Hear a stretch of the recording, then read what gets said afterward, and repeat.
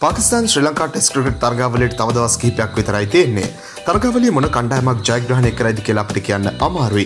ගොඩක් හිතවත් කණ්ඩායම් දෙකක් විදිහට හඳුන්වන්න පුළුවන් මේ කණ්ඩායම් දෙකේ ටෙස්ට් ඉතිහාසයේ ප්‍රතිකරණ දක්ෂතා ගැන අපි හොයලා බලමු. කණ්ඩායම් දෙක අතර තරගවල වැඩිම ලකුණුලාභීන් අතරේ 10 වෙනි තැන ඉන්නේ ශ්‍රී ලංකාව බිහි කළ සුපිරි ප්‍රතිකරුවෙක් වන තෙලාන් සමරවීර.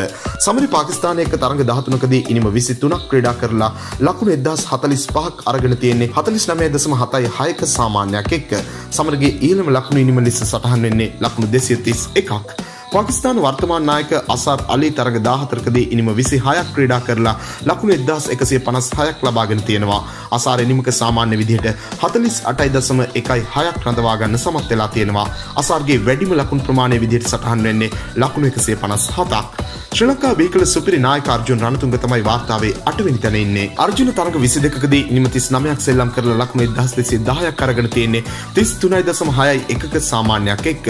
අර්ජුනගේ ඉහළම ඉනිම විදිහට නොදවී ලබාගත් ලකුණු එකසි තිස් පහක් සටහන් වෙන්නේ. මෙවතාවත් ශ්‍රී ලංකා කණ්ඩායමේ ලොකු බලාපොරොත්තුවක් විදිහට හඳුන්වන්න පුළුවන් ඇන්චලෝ මැතිව්ස් අර්ජුන්ට ඉහළින් ඉන්නේ. තරග 17කදී ඉනිම 31ක් ක්‍රීඩා කළ මැතිව්ස් ලකුණු 1309ක් ලබාගෙන තියෙනවා. මැතිව්ස්ගේ ඉනිමක සාමාන්‍ය 59.5ක් විදිහට සටහන් වෙන්නේ. පාකිස්තානයට එරෙහිව තරගවල මැතිව්ස්ගේ ඉහළම ඉනිම විදිහට සැලකෙන්නේ නොදවී ලබාගත් ලකුණු 157ක් ඊට පස්සේ ඉන්නේ සුපිරි ප්‍රතිකරු අරවින්ද ද සිල්වා. අරවින්ද තරග 21කදී ඉනිම 38ක් සෙල්ලම් කරලා ලකුණු ලකුණු එදස් හාරසය හැත්තෑ පහක් ලබාගන්න සමත් වෙනවා අරවින්දගේ පාකිස්ානයට එරේව හොඳ බීනිම ලකුණු එකසිය හැට අටක් හතලිස් දෙකයි දසම එකයි හතරක සාමානයක් අරවින්ද පාකිස්ානයට එරේව පවත්වාගෙන ගිහින් තිබෙනවා.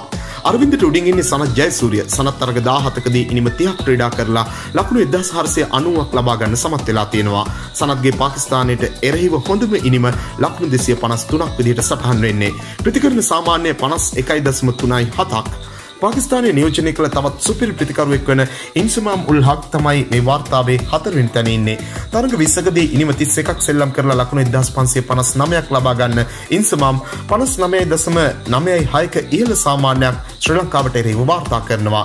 ඉන්සමාම් ශ්‍රී ලංකාවට එරෙහි වාර්තා කළ ඉහළම ඉනිම නොදවී ලබාගත්ත ලක්ුණු දෙසීයක්. මහිල ජයවර්ධන් තමයි වැඩිම ලකුල්ලාබින් අතරේ තුන්ගෙන් තැනන්නේ පාකිස්ානයට එරහිව මහල්ල තරග විසිනමයකදී නිම පනස් පාක් සෙල්ලම් කරලා ලකුණු එදදා සයිසය අසූ හතක් ලබාගෙන තියෙනවා. මයිලගේ පාකිස්ානයට එරහිව වැඩි මිනිම ලකුණු දෙසිය හතලිහක් මයිලගේ ප්‍රතිකරන සාමාන්‍ය තිස් දෙකයි දසම හතරයි හතරක් විදිහට සටහන් වෙන්නේ.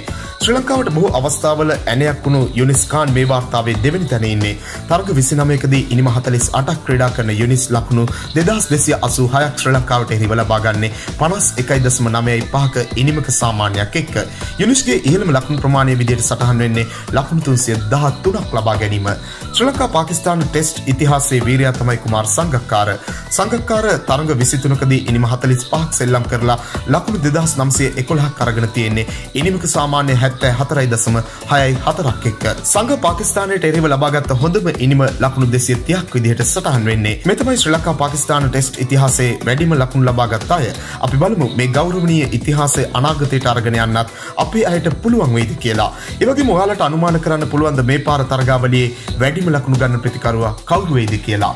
මෙන් වීඩියෝ දිනපතා බලන්න අපත් සමග එකතුවන්න ඔබ තවමත් අපේ චැනල එක සබස්ක්‍රයිබ් කල නැත්තං දැම් අප සබස්ක්‍රයිබ් කරන්නත් ක්‍රගට්වලට කැමති ඔබ යාලුකට බලන්න මේ වීඩියෝ කෂයා කරන්නත් අමතක කරන්න එපා. ක්‍රගට් පිටිය නම් දෙ සපරි තවත් අලුත් වීඩියෝවකින් හමුවනතුරු ක්‍රගට් ලංකාවෙතින් ඔයාට සුබ දවසක්.